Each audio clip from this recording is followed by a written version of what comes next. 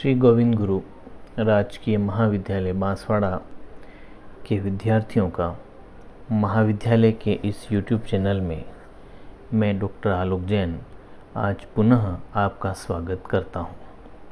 छात्रों, पिछली क्लास में हमने भारत के अपवाह तंत्र का अध्ययन शुरू किया था अपवाह तंत्र के अंतर्गत हमने अपवाह का अर्थ, प्रकार, पढ़े थे और उसमें उसके उत्तरदायी कारकों का भी अध्ययन किया था। आज हम भारत के अफवाह के अंतर्गत हिमालयी अफवाह, प्रायद्वीपीय अफवाह और तटीय अफवाह तंत्र के बारे में बात करेंगे। सबसे पहले हम शुरू करते हैं अफवाह तंत्र के अंतर्गत भारत में हिमालय की नदियों का अफवाह तंत्र। हिमालय की नदियाँ उत्तर के पर्वतीय प्रदेशों से निकलकर भारत के मैदानों में प्रवेश करती हैं। ये पर्वतीय क्षेत्र उच्च भाग है, जहाँ साल भर बर्फ़ से इन्हें जल उपलब्ध रहता है। आप इस मैप में देख सकते हैं, ये भारत का उत्तरी पर्वतीय प्रदेश का वो भाग है, जहाँ से विभिन्न नदियाँ निकलकर मैदानी भागों में प्रवेश करती हैं। जब हम हिमालय के अफवाह तंत्र की बात करते हैं तो यह बाह्य प्रायद्वीपीय अफवाह तंत्र कहलाता है। और इस बाह्य प्रायद्वीपीय अफवाह तंत्र के अंतर्गत तीन प्रमुख नदियों के तंत्र सम्मिलित हैं। आप एक बार इस मैप की सहायता से देखें, फिर मैं आपको इसका वर्णन बताऊँगा। आप देख सकते हैं, ये सबसे पहले सिंधु नदी। सिंधु नदी और उसकी सहायक नदियों का तंत्र। इसके बाद आप यहाँ देखेंगे, ये आपका उत्तरी भारत का मध्य मैदानी भाग, जिसमें गंगा और उसकी सहायक नदियाँ सम्मिलित हैं। और तीसरा भाग आप ये देखें, ये तिब्बत के सांगपो नामक नदी, जिसे हम ब्रह्मपुत्र कहते हैं, जो भारत में प्रवेश करके बांग्लादेश होते हुए बंगाल की खाड़ी में जाती है। तो इस तरह से हमारे हिमालयी या बाह्य प्रायद्वीपीय अपवा तंत्र के अंतर्गत तीन मुख्य नदियों के तंत्र सम्मिलित हैं, जिन्हें हम सिंधु नदी तंत्र, ब्रह्मपुत्र नदी तंत्र और गंगा नदी तंत्र के नाम से जानते हैं। इन्हीं तीन तीन नदियों और इनकी सहायक नदियों का वर्णन हम आज शुरू करेंगे। हम सबसे पहले बात करते हैं सिंधु नदी तंत्र की। मैं एक बार आपको मैटर समझा देता हूँ, फिर मैप की सहायता से भी बता दूँगा।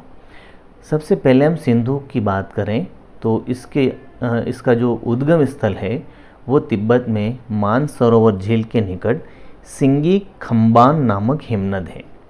यहाँ से वो अरब सागर की ओर मिलने तक 2880 किलोमीटर की दूरी तय करती है। अर्थात इसका अंतिम मुहाना या संगम पाकिस्तान में कराची के दक्षिण में अरब सागर में है। भारत के जम्मू कश्मीर में प्रवेश करती है।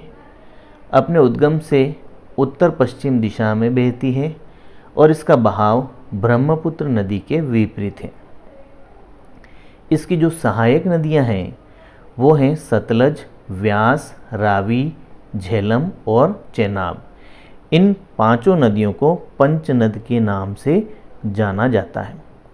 ये सभी ऐसी सहायक नदियाँ हैं जो भिन्न भिन्न स्थानों पर पहले आपस में मिलती हैं और इसके बाद इनका संयुक्त प्रवाह किसमें मिल जाता है? सिंधु नदी में मिल जाता है।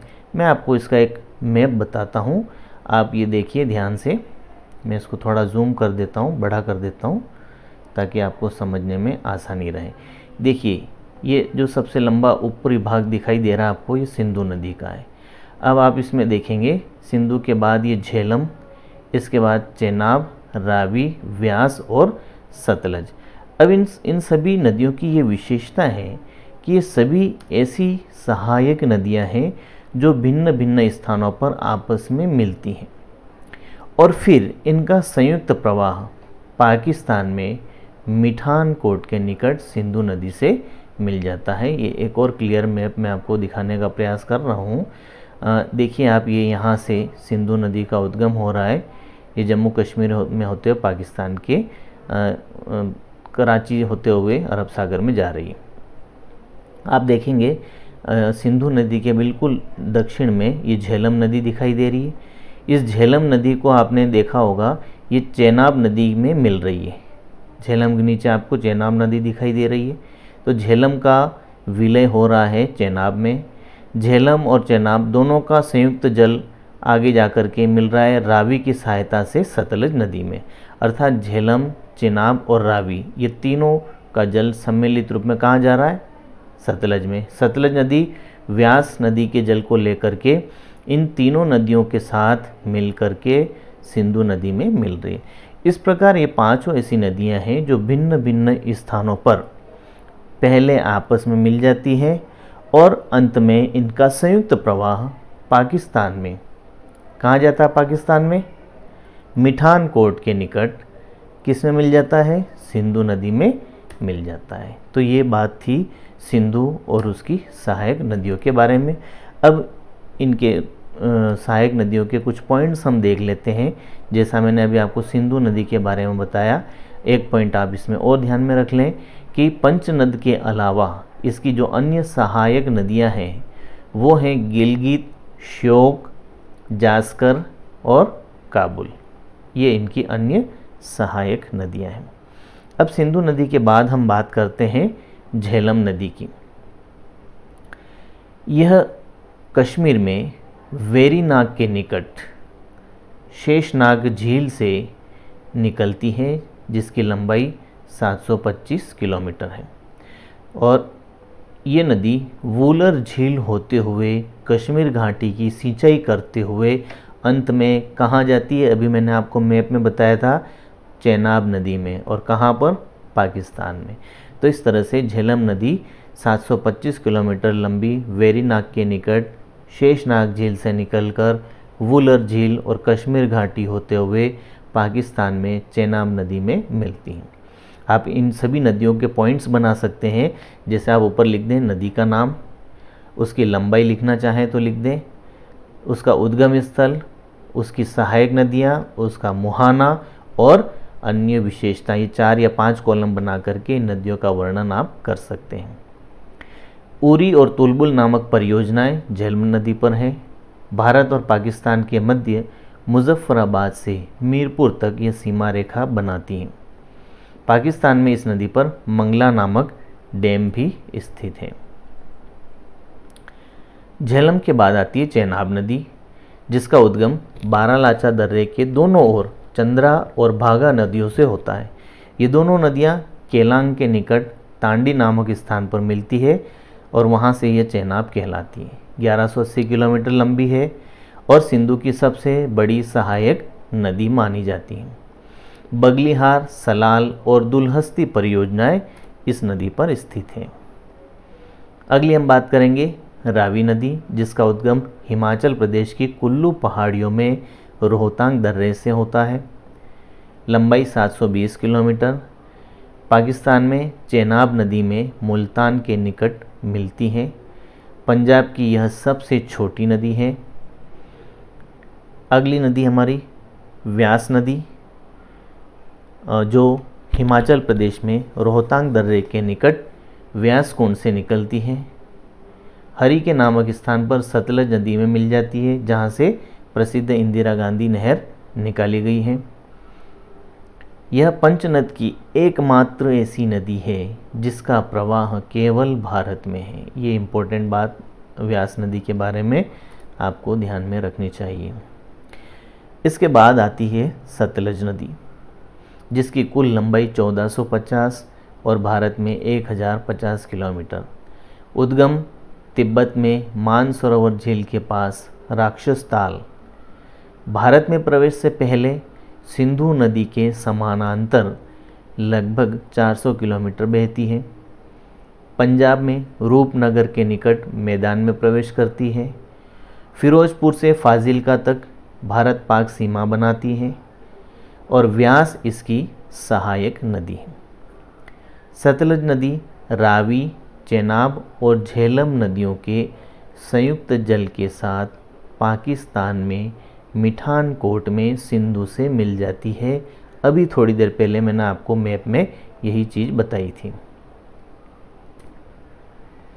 आप ये एक बार और मैप देख सकते हैं।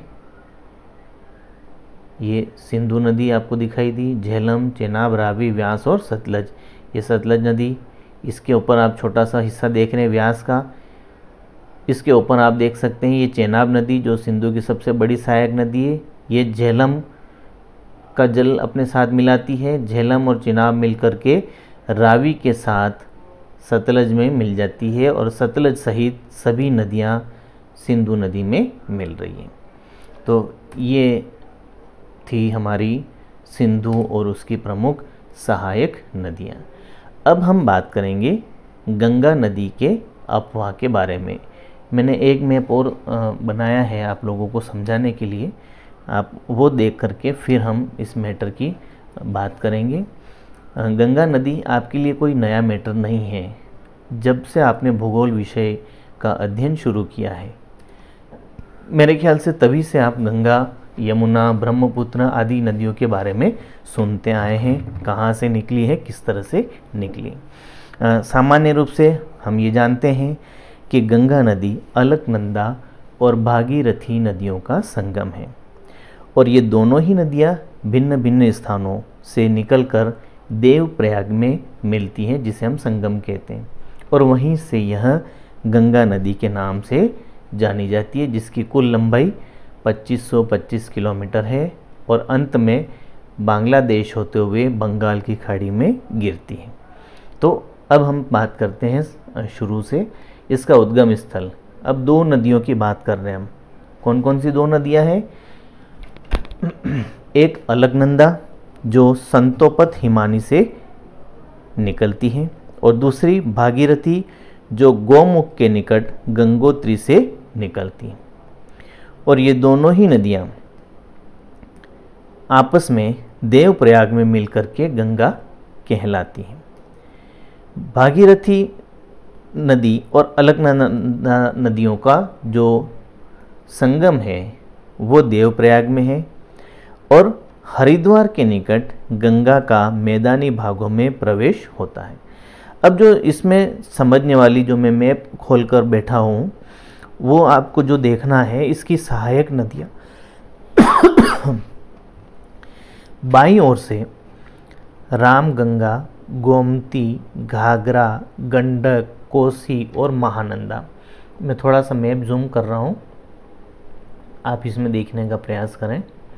ये देखिए, ये गंगा नदी, ये सेंटर में आपको जो ब्लू लाइन दिखाई दे रही है गाड़ी गाड़ी ये गंगा नदी आप पढ़ सकते हैं, इसमें आराम से स्पष्ट दिखाई दे रहा है। अब ये उत्तर में हिमालयी पर्वतों से निकलकर ये गंगा की दो शाखाएँ भी दिखाई दे रही है, अलकनंदा और भागीरथी, फिर ये गंगा केलाई। गंगा के पास में आप आगे देखें, ये गोमती, ये इसके आगे घाघरा, ये गंडक, ये कोसी। तो ये सारी नदियाँ उत्तर में पर्वतीय क्षेत्रों से निकलकर गंगा में मिल रही हैं। ये कहाँ से आ, कौन से किनारे पर गंगा में मिलती है? आप इसको कहेंगे बाएँ ओर से मिलने वाली सहायक नदियाँ। ये मैप में भी आप देख सकते हैं। इसी प्रकार से गंगा के दाहिनी तट पर या दाहिनी ओर से जो सहायक नदियाँ हैं उनमें कौन कौन सी हैं? आप देखेंगे यहाँ पर गंगा के जस्ट नीचे आपको दिखाई दे रहा है यमुना। यमुना नदी कहाँ से निकल रही है? यमुनोत्री नामक हिमनद से निकल रही है है ना? और इसी यमुना की सहायक नदी आप देख रहे हैं यहाँ पर चंबल। चंबल की सहायक नदी ये बनास है। इसी तरह से चंबल यमुना में मिली, बेतवा भी चंबल यमुना में मिल रही है। इधर आप देख रहे हैं तमसा नदी, ये सोन नदी, ये सभी नदियाँ बाई ओर से कहाँ पर मिल रही है? गंगा के अंतर्गत सम्मिलित हो रही हैं। इधर एक आप नदी देख रहे हैं, दामोदर जो गंगा की सहायक हुगली नदी, बंगाल में हुगली नदी है, वहाँ पर जा कर के मिलती है और गंगा के क्रम में सम्मिलित होती है। तो ये दोनों तरह की सहायक नदियाँ, एक जो दाहिनी ओर मिलती है और दूसरी गंगा में बाई तरफ़ से मिलने वाली सहायक नदियाँ। तो ये हमने गंगा नदी के बारे में बात की है। अब हम बात करते हैं गंगा और इसकी विभिन्न नदियों के संगम संगम का मतलब जानते हैं? जहाँ पर दो नदियाँ आपस में मिलती हैं, उसे हम संगम कहते हैं। अभी संगम कौन कौन से हैं? हम यहाँ पर देखते हैं। सबसे पहले, भागीरथी और अलकनंदा नदियाँ जहाँ मिलती हैं, वो संगम स्थल है देवप्रयाग। रुद्रप्रयाग नामक स्थान पर मंदाकिनी और अलकनंदा, कर्णप्रयाग में पिंडार और अलकनंदा और विष्णु प्रयाग में अलकनंदा और धोली गंगा नदियों का संगम होता है। आ, कुछ बहाव की बात हम कर लें कि गंगा नदी किस तरह से प्रवाहित होकर कहाँ जाकर मिलती हैं तो इसमें आप कुछ बातें आप ध्यान से देखें। मैं मैप की सहायता से अब आपको बता दूँगा और मैटर भी बता रहा हूँ। पूर्व में बंगाल के फरक्का तक बहती है जहाँ यह दो धाराओं में बढ़ जाती है। इसकी एक धारा बंगाल में हुगली के नाम से और दूसरी धारा बांग्लादेश में भागीरथी के नाम से प्रवेश करती। ब्रह्मपुत्र नदी से मिलने के बाद गंगा नदी पद्मा नदी कहलाती है। अंत में मेघना नदी के नाम से बंगाल की खाड़ी में गिरती है। गंगा का प्रवाह उत्तराखंड, उत्तर प्रदेश, बिहार और बंगाल में है। यमुना नदी पढ़ने से पहले मैं आपको एक बार पुनः गंगा नदी का जो मैप है, मानचित्र है, उसकी सहायता से समझाने का आपको प्रयास करूँगा कि किस तरह से गंगा नदी बंगाल की खाड़ी तक पहुँचती है और किन किन नामों से जानी जाती है। आप यहाँ पर थोड़ा सा ध्यानपूर्वक देखने का प्रयास करें। देखिए, ये गंगा नदी और ये आपको दिखाई दे रहा है बांग्लादेश। ठीक है? इसको मैं थोड़ा और जूम कर लेता हूँ, बड़ा कर लेता हूँ। अब आप ये देखिए, गंगा का जैसे ही बांग्लादेश में प्रवेश होता है, ये नदी कहलाती है पद्मा नदी। आप यहाँ देख सकते हैं पद्मान लिखा हुआ है, पद्मा। इधर आप देख सकते हैं, ब्रह्मपुत्र नदी दक्षिण की ओर मोड़कर बांग्लादेश में प्रवेश कर रही है।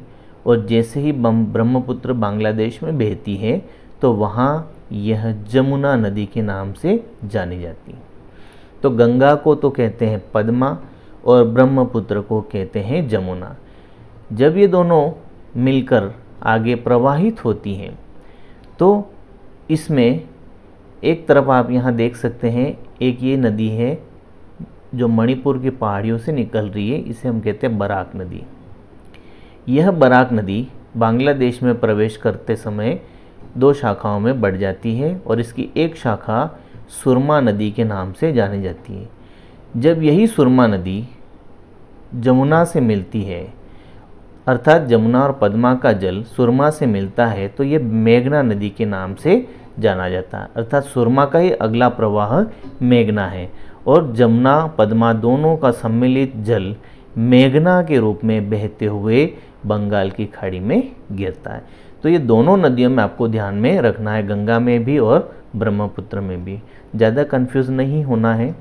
गंगा नदी जैसे ही बांग्लादेश में प्रवेश करती है, वो पद्मा कहलाती है और बंगाल की खाड़ी में मेघना नदी के नाम से गिरती है।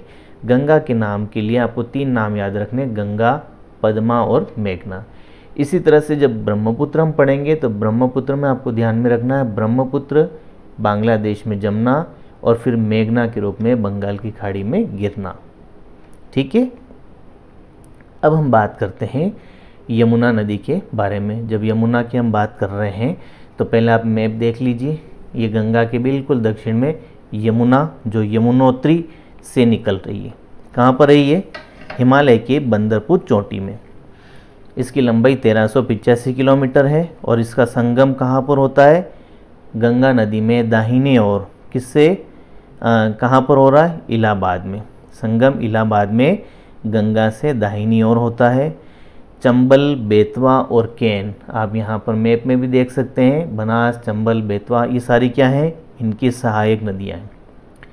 यमुना के सहारे आप मैप में भी कुछ शहर देख सकते हैं। आपको आगरा दिखाई दे रहा है। आपको कानपुर दिखाई दे रहा है, मथुरा है, दिल्ली है, ये सभी महत्वपूर्ण नगर हैं जो इस नदी के किनारे पर स्थित हैं। इसी तरह से एक नदी में आपको और बता देता हूँ, मैप की सहायता से, फिर आप आगे मैटर देख सकते हैं, कोसी नदी।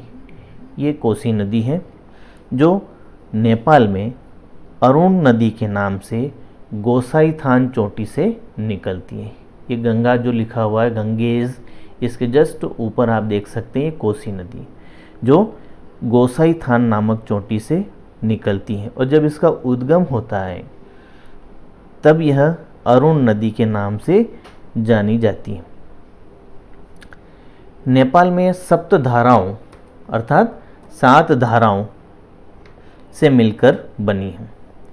ये सात धाराएँ फिर तीन नदियों के रूप में तमूर कोसी, अरुण कोसी और सुन कोसी के रूप में बहती हैं और फिर कोसी नदी के नाम से जानी जाती है। गंगा में मिल जाती है, बिहार में छपरा के निकट मैदान में प्रवेश करती हैं।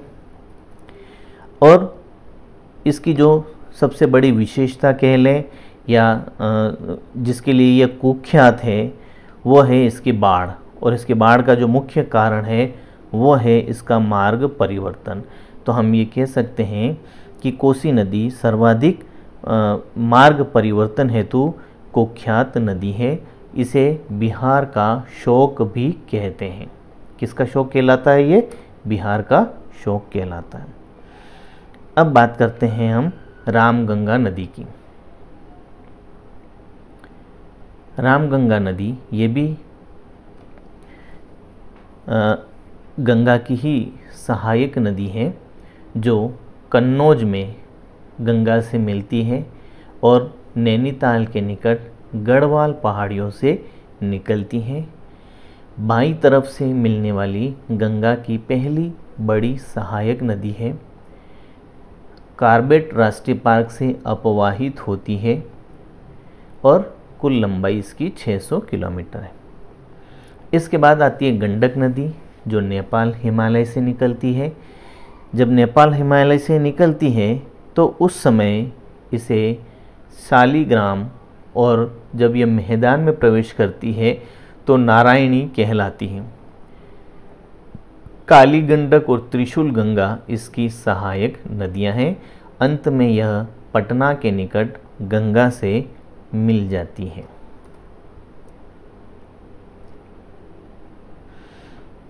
अब हम बात करेंगे घाघरा नदी की, जो मानसरोवर झील के निकट मापचा चुंग नामक हिमनद से निकलती है। बिहार के छपरा के निकट गंगा में मिलती है। सरयू, शारदा, राप्ती और छोटी गंडक इसकी सहायक नदियाँ हैं। बिहार यूपी की सीमा बनाती है। इसे पहाड़ी भागों में करनाली और मैदान में घाघरा के नाम से जाना जाता है। शारदा नदी इसका उद्गम मिलाम नामक हिमानी से होता है। इसका संगम घाघरा नदी में है। शुरुआत में इसे गोरी गंगा कहते हैं और भारत नेपाल सीमा पर इसे काली नदी के नाम से जाना जाता है। अगली जो नदी है एक नदी। हाँ ठीक है। अब हम जो बात कर रहे हैं, गंगा की सहायक नदियों में कुछ ऐसी सहायक नदियाँ जो पठारी क्षेत्रों से निकल के गंगा में मिलती हैं। इनमें चंबल नदी, जो यमुना की सहायक नदी है, इटावा ज़िले में यमुना से मिलती है और यमुना गंगा की सहायक नदी है। इसलिए ये गंगा नदी क्रम के अंतर्गत आती है। विंध्याचल पहाड़ियों में महू नामक स्थान से इसका उद्गम होता है। राजस्थान एमपी तथा एमपी और यूपी की सीमा बनाती है। बिहड़ हेतु प्रसिद्ध है। इसने भूमि का या बहुत बड़े क्षेत्र में कटाव करके बिहड़ या अनुपजाऊ भूमि का विस्तार कर दिया है। सहायक नदियों में कालीसिन, पार्वती, बनास आदि हैं। इसके बाद आती है कैन जो एमपी के सतना ज़िले में कैमूर की पहाड़ी से निकलती है और यमुना में मिलती है। कालीसिन नदी राजस्थान के टोंक ज़िले में नैनवास से निकलकर यमुना में मिलती है। सोन नदी अमरकंटक के पहाड़ियों से निकलकर पटना में दानापुर में गंगा से मिलती है। इसका रंग, यहाँ की रेत का जो रंग है, वो पीले रंग का है, जो स्वर्ण की तरह चमकती है। इसीलिए इसका नाम स्वर्ण या सोन नदी रखा गया। दामोदर नदी का उद्गम छोटा नागपुर के पठार में झारखंड के पलामू ज़िले से होता है और बंगाल में हुगली नदी से मिल जाती है। इसे दामोदर नदी को बंगाल का शौक भी कहा गया है। कोयला भंडार क्षेत्रों से निकलने के कारण यह अति प्रदूषित नदी है। आ, मैं पहले पे मैप से आपको समझा चुका हूँ। एक बार आप और देख सकते हैं। एक ही नदी और बची है, उसके बाद हम अगले नदी तंत्र देखेंगे। लेकिन उससे पहले एक बार और मैप बता देता हूँ मैं आपको। आप यहाँ पर देखिए, सबसे पहले सिंधु नदी का तंत्र, जिसमें आप देख सकते हैं सिंधु, झेलम, चेनाब, रावी, व्यास और सतलज। इसी तरह से ये है आपका गंगा नदी का क्रम, जिसमें आप इधर से देखें तो कोसी, गंडक, घाघरा, गोमती, रामगंगा, यमुना, ये सभी सहायक नदियाँ और चंबल सिंध बेतवा कैन सोन दामोदर ये सभी गंगा की सहायक नदियाँ। और उसके बाद हम बात करेंगे ब्रह्मपुत्र नदी तंत्र का। लेकिन इससे पहले शायद एक नदी और है। आ, क्या नाम? अच्छा ब्रह्मपुत्र नदी। ओके। ब्रह्मपुत्र नदी को भी मैं एक बार दोबारा आपको मैप से बता देता हूँ। देखिए, ब्रह्मपुत्र नदी, ये आपका तिब्बत का पठारी क्षेत्र है, ठीक है? जब ये उद्गम होती है, अर्थात जहाँ से ये निकलती है, उद्गम स्थल कहाँ पर है इसका? हिमालय के उत्तर में मानसरोवर झील। और इस मानसरोवर झील के निकट एक हिमानी है, जो चौमो युंग दुंग हिमानी के नाम से जानी जाती। जब यह हिमानी से निकलती है तो पूर्व दिशा की ओर बहती है। और जब इसका उद्गम होता है तो उस समय इसे सांगपो नदी के नाम से जाना जाता है, पवित्र करने वाली नदी सांगपो नदी। पूर्व दिशा में जब ये बहती है तो भारत के अरुणाचल प्रदेश में प्रवेश करती है। जब पूर्व की ओर बहती है इसी के नज़दीक दो और नदियों का उद्गम है, होता है सिंधु और सतलज। सिंधु और सतलज दोनों ही नदियाँ पश्चिम की ओर बहती हैं, लेकिन ब्रह्मपुत्र नदी का प्रवाह पूर्व की ओर है। तिब्बत में जब ये उद्गम होकर रवाना होती हैं तो सांगपो नदी के नाम से जानी जाती हैं। और पूर्व में बहकर जैसे ही नामचा बरवा पर्वत के निकट पहुँचती है तो यह दक्षिण की ओर मुड़ जाती है। यहाँ आपको ये दिखाई भी दे जाएगा, दक्षिण की ओर ये नदी मुड़ जाती है। और भारत में अरुणाचल प्रदेश में प्रवेश करती है। और जैसे ही अरुणाचल प्रदेश में इस नदी का प्रवेश होता है तो वहाँ इसे दिहांग नदी के नाम से जाना जाता है। सबसे पहले सांगपो, फिर दक्षिण में मुड़ी, अरुणाचल प्रदेश और दिहांग। अब क्या होता है? दिहांग नदी के बाद जब यह असम घाटी में प्रवेश करती है तो वहाँ सादिया के निकट इसे ब्रह्मपुत्र के नाम से जाना जाता है। मैं शायद आपको एक और मैप दिखा देता हूँ, जो शायद इससे ज़्यादा क्लियर हो। ये देखिए आप। ये ब्रह्मपुत्र नदी, ये मानसरोवर के निकट, ये लिखा T S A N G P O Tsangpo कहते हैं इसको। ये पूर्व दिशा में प्रवाहित हो रही है। आप देख सकते हैं, लंबी धारा बिल्कुल चल रही सबसे टॉप पर, है ना? जैसे ही ये अरुणाचल प्रदेश नामचा बरवा पर्वत के निकट पहुँचती है तो यहाँ इसकी दिशा दक्षिण में हो जाती है। और फिर मुड़ करके, दक्षिण में मुड़ करके यह अरुणाचल प्रदेश में प्रवेश करती है। अरुणाचल प्रदेश में इसे दिहांग कहते हैं और असम घाटी में यह ब्रह्मपुत्र के नाम से जानी जाती है। अब यहाँ से ही जब ये आगे प्रवाहित होती है तो इसका प्रवेश कहाँ हो रहा है? बांग्लादेश में। तो ब्रह्मपुत्र को बांग्लादेश में जमुना नदी के नाम से जानते हैं। शुरुआत तिब्बत से, वहाँ सांगपो, अरुणाचल प्रदेश में, दिहांग, आसाम में, ब्रह्मपुत्र और बांग्लादेश में जमुना। जैसे ही बांग्लादेश में जमुना नदी का संगम पद्मा से होता है तो आगे चल कर के यह मेघना नदी के रूप में प्रवाहित होने लगती है और मेघना नदी बांग्लादेश में गिर जाती है। मेघना नदी में भी आप एक चीज़ और बता सकते हैं कि जो मैं गंगा नदी में भी आपको बता चुका हूँ कि मणिपुर की पहाड़ियों से एक नदी निकलती है जिसका नाम है बाराक नदी। इसी बाराक नदी की एक शाखा सुरमा नदी के नाम से बांग्लादेश में प्रवेश करती है। जब जमुना और पद्मा का सम्मिलित जल सुरमा से मिलता है तब यह मेघना नदी के नाम से प्रवाहित होने लगता है और अंत में यह मेघना नदी कहाँ मिल जाती है? बांग्लादेश में मिल जाती है। तो इस तरह से हम ब्रह्मपुत्र नदी का उद्गम से संगम तक का वर्णन कर सकते हैं। कुछ और इम्पोर्टेंट पॉइंट्स इसमें आपको मैं बता देता हूँ। गंगा के साथ ब्रह्मपुत्र नदी सबसे बड़ा डेल्टा बनाती है।